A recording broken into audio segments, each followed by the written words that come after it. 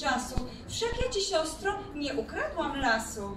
Dlaczegoż teraz z taką białą twarzą i z przyciętymi ustami? Wyłaż, wyłażą z twego dzbanka maliny jak węże, aby, ci, aby, aby mnie kąsić żądłami wymówek. Idź i bądź panią. Siostra się zaprzęże jak wół do pługa, będzie tłoczyć olej z kolących siemion i brzydkich makówek. A wstydź się, siostro, proszę cię, nie bolej nad moim szczęściem. Co to znaczy, ten śmiech okropny, siostro? Czy ty chora? Jeżeli wielkiej doznajesz rozpaczy, to powiedz. A ty kochasz Kirkora? Ty bardzo kochasz? Siostro, powiedz szczerze, bo widzisz, rybko, są inni rycerze. Ja będę panią, to ci znajdę męża. Ty będziesz panią! Ty! Ty! Balladyna, co ten nóż znaczy? Ten nóż? To na węże w malinach.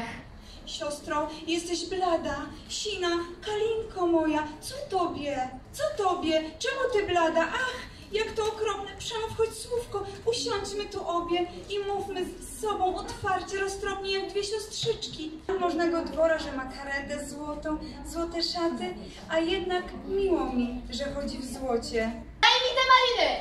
A gdybyś poprosiła, pocałowała usteczka Aliny, może bym dała, spróbuj balladynko.